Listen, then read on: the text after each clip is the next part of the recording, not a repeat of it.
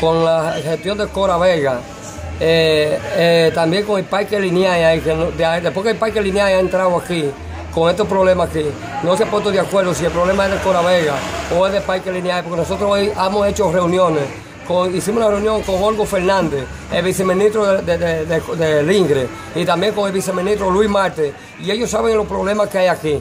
También Cora Vega, Omar Beato, sabe los problemas que hay aquí, que dice que viene, que viene, y no viene nada. O sea, mira qué condición tiene este problema aquí, con la cloaca, que toda esa agua negra, sucia, se está devolviendo otra vez para la casa adentro. Entonces aquí hay niños Señora, piensen en los niños, en la, niñez, mañana, porque como ustedes viven bien, nosotros también, los hijos de Machepa, también tenemos derecho de vivir bien, con tanto impuesto que se le está pagando a este gobierno.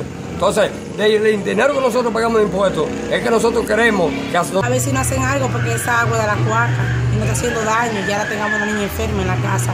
A ver si la gente de Cora Vega, por favor, hacen algo con esto también.